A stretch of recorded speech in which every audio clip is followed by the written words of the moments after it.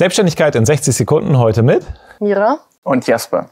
Zusammen machen wir Schmitz Bagel. Cool. Was macht ihr mit Schmitz Bagel? Ähm, ja, aktuell verkaufen wir in erster Linie Bagel, aber wir haben darüber hinaus eine Mission. Und zwar haben wir uns das Ziel gesetzt, den CO2-Ausstoß im Lebensmittelbereich zu reduzieren. Ähm, die Lebensmittelbranche verbraucht über 37 Prozent des weltweiten äh, CO2-Ausstoßes. Und essen müssen wir alle. Das ist ein, ein Konsumprodukt, bei dem wir nicht sparen können. Also haben wir uns das Ziel gesetzt, dass wir zumindest in dem, ja, in dem CO2-Ausstoß, in der Produktion der Lebensmittel sparen. Und das wollen wir vor allem dadurch tun, indem wir regionale Lebensmittel anbieten und indem wir biologisch erzeugte Lebensmittel anbieten, die eben einen deutlich geringeren CO2-Ausstoß haben um es so dem Konsumenten zu ermöglichen, trotzdem Lebensmittel zu konsumieren, aber eben mit einem kleineren CO2-Fußabdruck. Sehr cool. Wie seid ihr dazu gekommen? Vor zwei Jahren haben wir beide unsere Bachelorarbeit darüber geschrieben. Jasper einmal über äh, Green Franchising. Und ich über äh, nachhaltige Unternehmensführung. Und dann kam die Corona-Zeit, die Ladenflächen wurden frei und wir haben gesagt, wenn nicht jetzt, wann dann?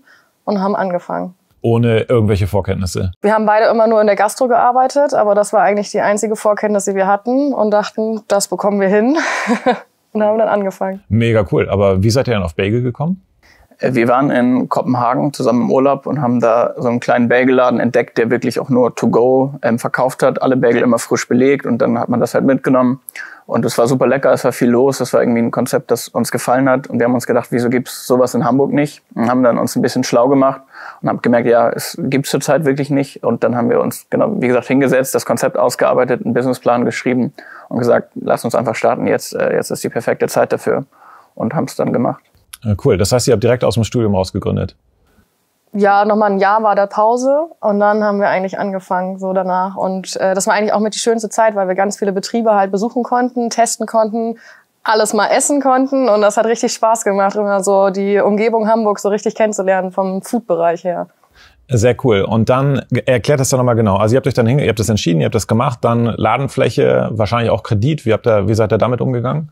Genau, wir hatten das Glück, dass wir das Geld äh, aus dem privaten Umfeld uns leihen konnten, dass wir eben nicht mit unserem ah, Businessplan okay. zu einer Bank gehen mussten, sondern ja das Geld äh, hatten. Aber klar, wir haben einen Businessplan erstellt, haben uns überlegt, wie viel Geld brauchen wir zum Start, ähm, haben dann auch das Glück gehabt, dass wir eine äh, Biolandbäckerei, die Landbäckerei Dikos, als Partner gewinnen konnten, die für uns eben die Bagel in Biolandqualität produziert und das halt auch sofort auf, eine, auf einem Niveau, das wir selber gar nicht hätten leisten können und vor allem was Qualität und Quantität angeht.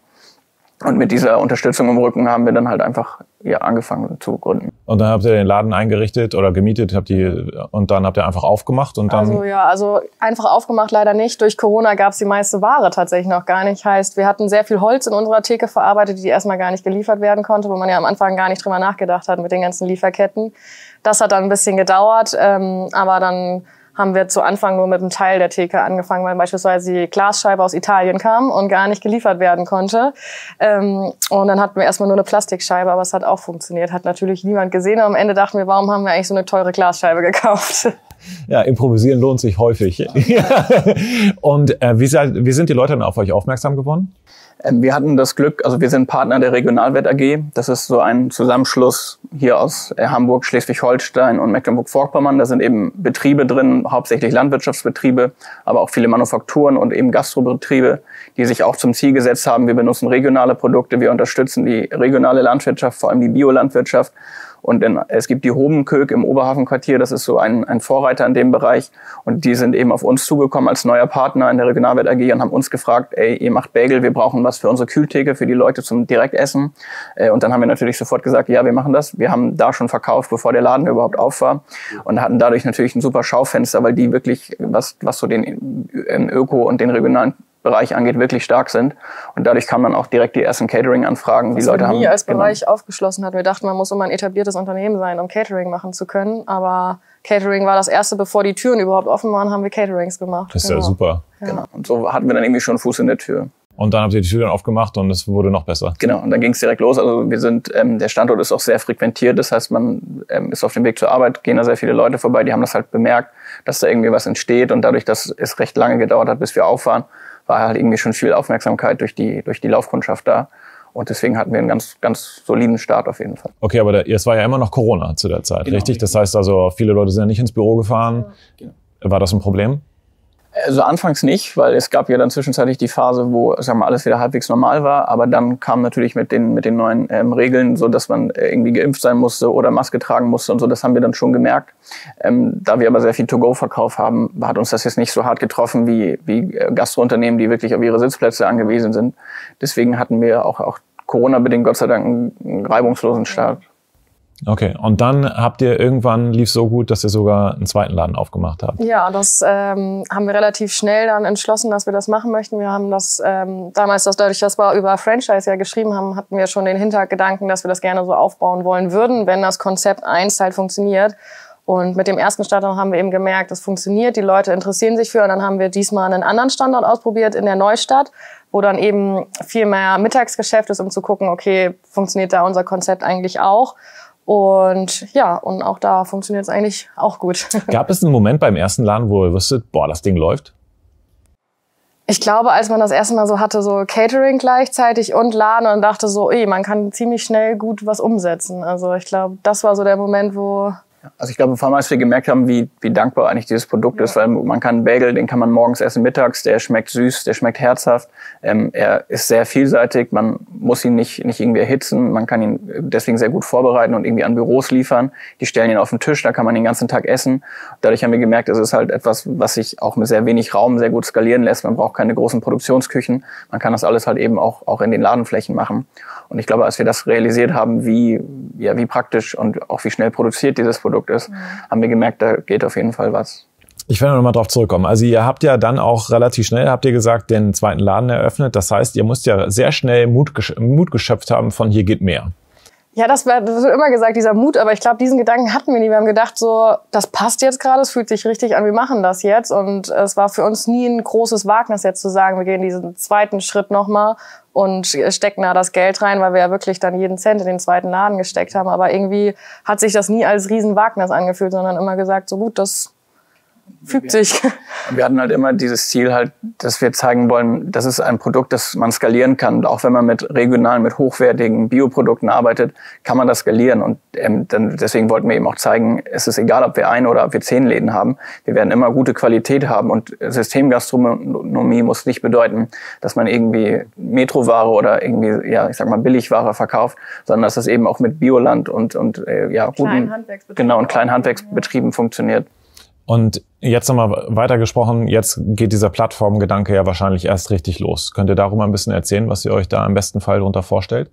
Genau, also bei uns in den Läden ist es so, dass jeder Kunde immer genau weiß, welche Produkte er da isst. Das heißt, in unseren Saladetten sind immer wie in einer Eisdiele ein kleines Schild, da steht dann drauf, das ist der Mozzarella von dem und dem Laden, das ist der Frischkäse aus dem und dem Laden.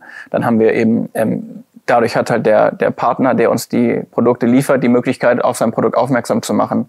Darüber hinaus haben wir so Partnerplakate, wo der Betrieb eben was über sich schreiben kann, welche Standards er erfüllt und auch woher er stammt. Und dadurch können die Kunden eben die Produkte, die sie bei uns essen, auch ja, wirklich erleben und wissen auch, was habe ich da gegessen. Und wenn sie das dann irgendwie im Supermarkt sehen, sagen sie, ey, das habe ich ja bei Schmitz Bagel gegessen, das schmeckt super, ich kaufe mir das jetzt auch für zu Hause. Teilweise kann man Produkte bei uns auch direkt kaufen. Also du isst beispielsweise ein Produkt, findest das lecker und kannst das direkt mit nach Hause nehmen, weil ähm, manche Produkte gar keine Möglichkeit haben, im Supermarkt beispielsweise gelistet zu werden. Und dann gehen sie halt über die Gastronomie und haben da eben die Möglichkeit, auch schon Verkäufe zu haben. Und ähm, genau. wir haben beispielsweise auf unseren Speisekarten auch oft die Namen von den Partnern. Zum Beispiel der Bagel heißt dann nach dem Partner.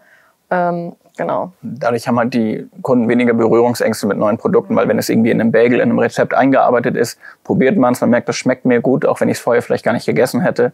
Und dadurch testet man dann eben neue Waren und das merken wir, dass das wirklich gut funktioniert und sehr viele ähm, Lebensmittelhersteller daran interessiert sind, ihre Produkte eben an unser, auf unseren Bageln dem Kunden zur Verfügung zu stellen. Ja, sehr cool. Und ähm, eingangs habt ihr ja gesagt, eure eigentliche Mission ist CO2 zu reduzieren. Das heißt, eure, eure Ambitionen sind sehr groß. Mhm. Ähm, könnt ihr da euch, wie, wie geht's weiter? Wo steht Schmitz Bagel in fünf Jahren?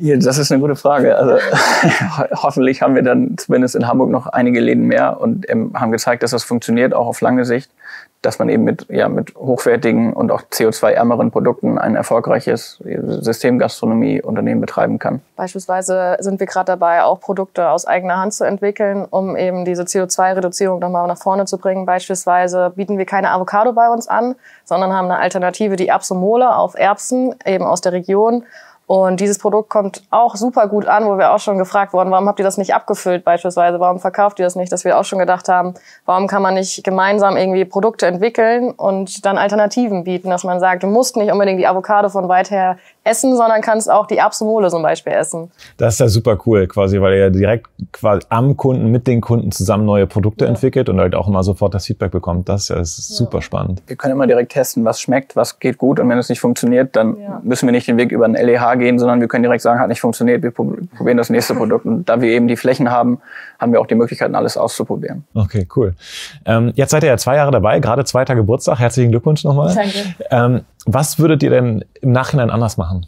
Ich glaube nicht am Anfang so viel Geld in die Theke stecken. Wir haben sehr viel Kapital gebunden, indem wir uns eine gigantische Theke reingesetzt haben. Das war auch wirklich sehr viel wert, aber ja, so eine Glasscheibe hätte es nicht unbedingt sein müssen. Also da kann man ein bisschen sparen, würde ich behaupten. Ähm, und immer eine gute Spülmaschine kaufen. Das ja. ist das A und O in der Gastro. Also hat uns einige schlaflose Nächte gekostet auf jeden Fall. Ich würde auch sagen, dass es sinnvoll ist, äh, weniger vorauszuplanen, sondern erstmal zu machen, weil wir haben gemerkt, das meiste, was wir geplant haben, hat überhaupt nicht gestimmt. Das kam nicht überhaupt nicht hin. Dafür sind ganz andere Sachen passiert, die wir gar nicht auf dem Zettel hatten. Ähm, und deswegen, ja, nicht zu viel planen, nicht zu lange im Kopf machen, sondern erstmal ein klar wichtiges Grundgerüst legen, dass man nicht völlig blind in den Wald läuft, aber dann, sobald man eine Idee hat, anfangen. Gibt es ein Highlight aus den letzten zwei Jahren, wo ihr sagtet so, boah, ist ja geil? Ich glaube, das Coolste war, als wir zwei Läden auf hatten und das erste Mal nicht da waren und das lief. Also man dann zu Hause so den Umsatz checken konnte. Das war ein schöner Moment, wo man so wusste, so man kann sich Stück für Stück rausziehen und es trotzdem gut funktioniert. Das hat sich wirklich das erste Mal angefühlt, als wäre man irgendwie ein ja, Unternehmer, weil man irgendwie gemerkt hat, die Läden laufen, aber man selbst ist nicht vor Ort. Man muss nicht selber jetzt tätig werden, sondern man hat das soweit alles ja, delegiert und arrangiert, dass alles funktioniert. Ja. Und gab es auch ein Lowlight, wo ihr dachtet so, oh Mano? Ich glaube, das passiert immer wieder, wenn man manchmal denkt, so dann kommt irgendwie beispielsweise bei Catering ist das oft, die fragen dann ganz spontan an. Man muss aber als kleines Unternehmen dann schnell performen und sagen so, ja, wir machen das, wir können das liefern, aber eigentlich haben wir noch nie so ein großes Catering zum Beispiel gemacht. Und da dann schnell zu sagen, okay, wo kriegen wir jetzt die Ware, weil wir auch viele kleine Produzenten haben. Und das ist dann manchmal echt wo man hinter allem hinterher rennt und denkt so, oh Mann, ey, das wird vorne und hinten niemals was werden. Also ich denke, so ein generelles Lowlight, vor allem in der Gastro, ist natürlich, wenn man die Umsätze sieht, dass die heute nicht gut sind. Trotzdem hat man irgendwie vier Leute vor Ort, die man bezahlen muss. Und dann denkt man natürlich, buff, das ist jetzt ein schöner Minustag heute. Aber darüber muss man dann halt hinwegsehen und irgendwie den Monat betrachten und merken, insgesamt geht es immer äh, ja, weiter aufwärts. Die Umsätze stimmen, aber diese einzelnen Tage, die nicht gut sind, die auszublenden, das war anfangs sehr schwer sehr und sich hart, davon nicht ja. runterziehen zu lassen ja. und denken, so, was machen wir hier eigentlich? Und hier? nicht vergleichen. Genau, so, das, ist, das auf jeden Fall. Dass man denkt, so da links sitzen jetzt aber schon wieder drei mehr Leute, so nach dem Motto, ne? Warum sind die denn jetzt bei uns nicht? Also ich glaube, das äh, war auch ein Lernprozess. Ja, das glaube ich. Ähm, was würdet ihr denn anderen Menschen mit an die Hand geben wollen, die gerade mit dem Gedanken spielen, sich selbstständig zu machen? Mm, ich würde sagen, wenn du das fühlst, definitiv machen und nicht zu viel drüber nachdenken. Wenn du irgendwie an einer Ladenfläche vorbeiläufst und denkst, da hast du schon die Vision und möchtest das machen, auf jeden Fall machen ich glaube auch einfach anfangen und nicht ja. auf den perfekten Moment warten, ja. weil desto länger man es vor sich herschiebt, desto unwahrscheinlicher wird es, dass man wirklich anfängt. Man sollte es einfach versuchen, na klar, sich schon einen groben Plan machen, aber dann anfangen, es umzusetzen und man wird merken, dass es macht riesig viel Spaß. Meistens, mhm. klar, es gibt auch Scheißmomente, aber insgesamt ist es einfach ein schönes Gefühl, sein eigener Chef zu sein, selber entscheiden zu können, was macht man wann, was macht man wie und einfach zu merken, wenn man eine Idee hat, und die funktioniert, das ist einfach ein wunderschönes Gefühl. Oder diese, also gerade in der Gastronomie, wenn du mit äh, Menschen arbeitest, ich finde das total schön, dieses direkt zu sehen, wenn die Leute was geschmeckt hat oder so, dass sie direkt Feedback geben, dass man sofort mitkriegt. Also das ist ja ein Produkt, wo du dann erlebst, wie die Leute da reinbeißen. Wir hatten zum Beispiel auch mal ein Kind, das ähm, dem Bagel dann so richtig so, oh, ich liebe Bagel. Das war so, wo du dachtest, ach schön, das ist einfach niedlich. Also ähm, ja.